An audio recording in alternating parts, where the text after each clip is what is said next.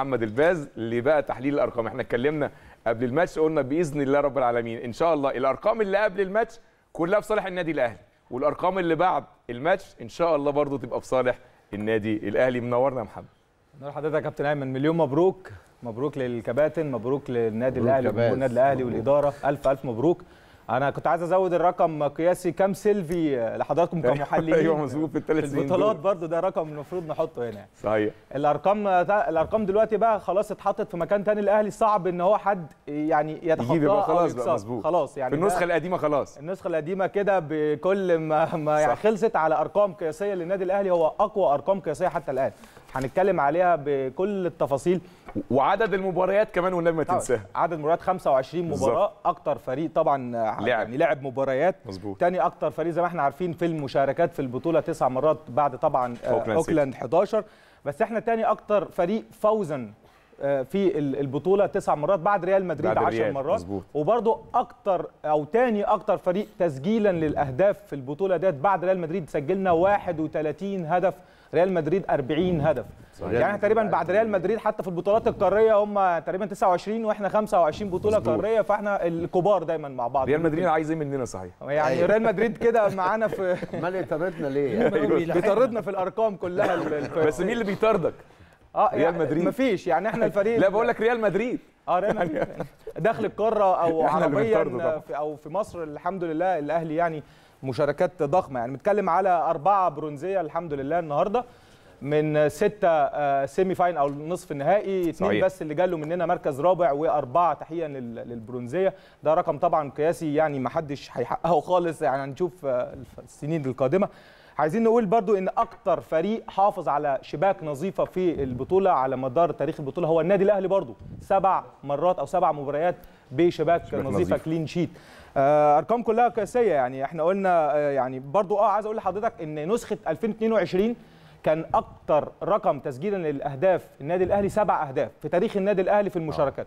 لكن هذه النسخة برضو سبع أهداف. سبع أهداف برضو. فبدأنا نتساوي بالنسخة الماضية. إحنا حتى النسخه سبع أهداف دي استقبلنا ثمان أهداف كانت رقم شوية ولكن إحنا النسخة دي استقبلنا خمس أهداف آه، في في ظل الظروف اللي إحنا شفناها دي كلها. ولكن طبعا بن بنقول إن إحنا من من أكتر الفرق دلوقتي كتابه للأرقام. يعني حتى علي معلول الهدف ما اتحسبش آه، ولكن إحنا بنقول إن هو طبعا في البطولة كلها يعني تقريبا دلوقتي آه، يعني النهارده آه، هدف وقبل كده هدف وبرضه ياسر هدفين يعني هو هدفين.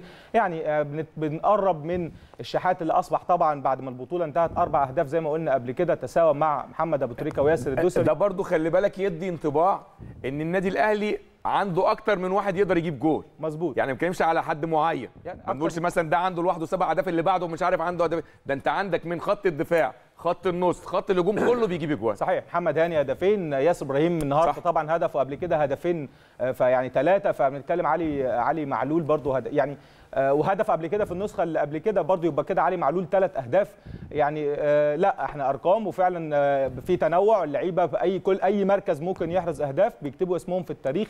آه، يعني أرقام كلها قياسية ممتازة جدا. مليون مبروك للنادي الأهلي. قبل قبل ما نخش في مباراة النهارده برضو يا كابتن أيمن يعني عندنا شوية أرقام كده حصلت طبعا حضراتكم طبعا هتتكلموا عليها فنيا. أنا عارف إن إحنا آه، أرقام القياسيه اللي حققها الأهلي خلاص والفرحة الكبيرة باربعه برونزية.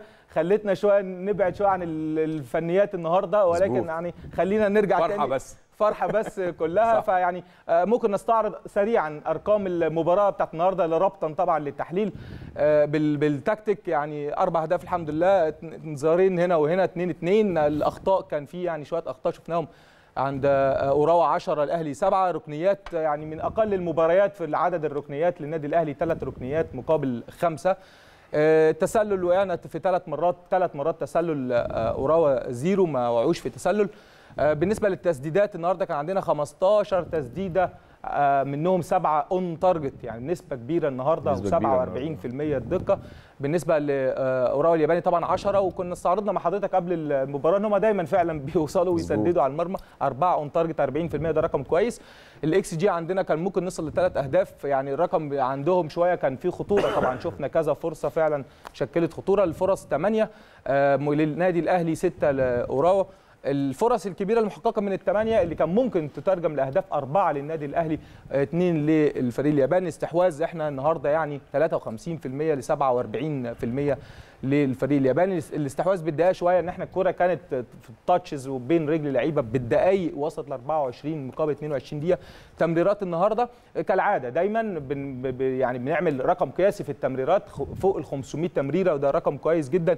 آه، منهم 448 صحيحة بنسبة دقة 86% المباريات اللي فاتت حتى في الدوري كنا بنصل ل 89 و90% من الدقة. يعني بنقول إن فوق ال 85% دايما أرقام عالية جدا حتى عند آه، آه، أوراوا ال- الاوراوا الياباني. طبعا آه، 300 أو 465 منهم 376 صحيحة بنسبة 81% ال short passes برضو كان في رقم آه، كبير جدا عندنا 460 منهم 419 صحيحة.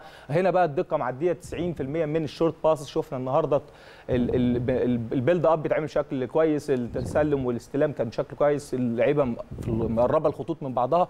التمريرات الطولية long balls النهارده لا كان في شوية آه، يعني long balls اتلعبت 50 عند الأهلي منهم 28 صحيحة بنسبة 56% عند طبعا آه، آه، أوراوا آه، 38 منهم 15 39% الدقة.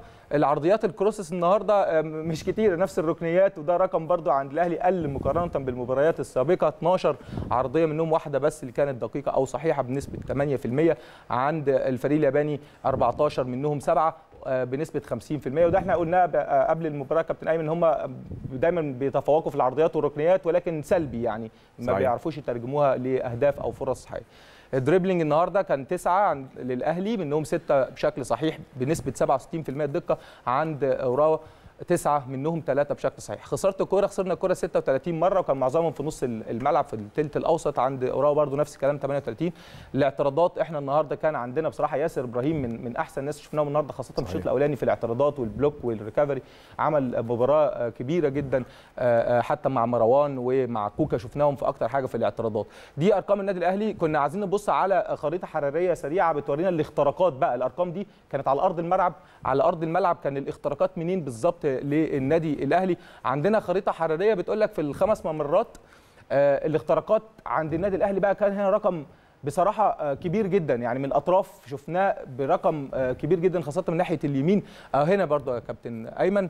الكباتن برضو إحنا شفنا امام عاشور عمل switching مع بيرستاو في ناحية مظبوط. اليمين كان بيجي مكانه وهو بيروح اللامركزية أو ال switching ما بينه راح هناك جنب حسين الشحات. فالاثنين عملوا حالة كبيرة جدا في عدد الهجمات من الممرات الخمسة ناحية اليمين حتى الممر ال- الأيمن 13 والممر الأيمن الداخلي أو ال half spaces هنا 12 ناحية بس اليمين. كان فيه تقريبا 25 هجمة رحنا من ناحية اليمين ناحية الشمال. بس ده واضح إن 18. مستر كولر درس الفرقة دي كويس. مظبوط بالظبط. فبدأ إن هو يلعب لأن إحنا كنا بنقول عندهم مشكلة في الظهير الأيسر والضغط عليه بشكل كبير جدا كده. ال- ال- ال- اللعب في في العمق أو الاختراق من العمق ما كانش فيه عندنا رقم كان ثلاثة فقط رقم مش كبير. الناحية الثانية بقى الفريق ال- الياباني أوراوا. هنلاقي بقى حاجة آه، كنا اتكلمنا فيها كابتن أيمن قبل المباراة إن هو الفريق ده دايما بيلعب على الاختراقات من العمق. يعني يعني شوف هنا يعني هتلاقي 10 وجنبه تسعة من ناحية اليمين ده هم دايما بيحبوا يلعبوا طريقتهم في اللعب إن هو يخترق من العمق. وده الأرقام فعلا طلعتها ناحية اليمين ناحية الشمال. أقصى الأطراف ما كانش فيه اختراقات بشكل كبير جدا. أربع هجمات هنا في اليمين وخمس هجمات في الشمال. آخر حاجة سريعا الهدف الثاني لتاو. آه، عايزين يعني نتذكر مع حضراتكم الضغط طريقة الضغط اللي إحنا اعتدنا عليه مع آه، مستر مارسيل كولر ولعيبة النادي الأهلي في الموسم الماضي. الضغط العالي الشرس اللي بيولد أخطاء على أي فريق ده إحنا شفناه في الهدف الثاني النهارده. ويعني كوكا. لما كوكا قطع يعني الكورة. بالظبط. يعني شوف يا كابتن أيمن الضغط هنا على طول في ثلاث يعني ال- اللعبة كملت هي بترجع يرجعوا الكورة طبعا لحارس المرمى. بدا بيحاول إن هو يعمل build up ولكن هنا في بص في في في frame two second في ثلاث لعيبة راحوا قطع الكورة فعلا وراحت لبيرستاو هو ده ال- طبعا وترجمت لهدف آه، اللي أنا كنت عايز أقوله من هنا بس. الضغط العالي الشرس بلعيبة مزدوج اثنين وثلاثه ويقفل زوايا التمرير. هو ده كان سر تفوق نادي الأهلي. طبعا بيرجع لعامل بدني كان عالي جدا بيساعد اللعيبة في آه، موضوع الضغط. وحضراتكم تكلمتوا عليه وكابتن شريف برضو أشار لموضوع الضغط آه، يعني عشان كده حابين نقول مع الضغط دوت يعني يا ريت نكمل. إن شاء الله ناخد بقى بطولة السوبر و من, من غير ما يشاور لك كابتن شريف. لا أنا يعني لو كابتن عادل شاور لك كنت هتقول الكابتن عادل. لا لا لا. هو الكابتن ايمن بيغير مني. عشان أنا سابق عصري أيوه صح. في ال- في الخطط وفي ال- إزاي تكسب في الفرق. الضغط. مظبوط كابتن ايمن عشان هو مدير الاستوديو بينسب لنفسه أي حاجة بتحصل. أيوه. صعب. صح يا كابتن شريف. مليون مبروك أرقام للتاريخ أرقام قياسية. وإن شاء الله النسخة اللي. حضرتك زي ما قلت بالظبط الكبيرة بقى 32 فريق الأهلي طبعا حط شاء رجل الله. فيها يعني بشكل كبير جدا إن شاء الله بإذن ونعمل فيها طبعا يعني أرقام أيضا قياسية جديدة بإذن الله يا رب إن شاء الله إحنا عارفين خطوة بخطوة السوبر اللي جاي بعد يومين. وننتهي من السوبر ونشوف اللي بعده. بص خلينا نفرح النهارده شوية. بالظبط. عايزين نفرح ببطولة عايزين نفرح بإنجاز شوية ناخد لنا إحنا حتى ساعتين ثلاثة بس نفرح بيه. إنجاز كبير طبعا. ثلاث أيام الله عندك. مليون. مبروك. شكرا وألف ألف مبروك يا محمد. شكراً. شاكرين جدا ألف شكراً. الف شكر طيب. كابتن آه، عادل.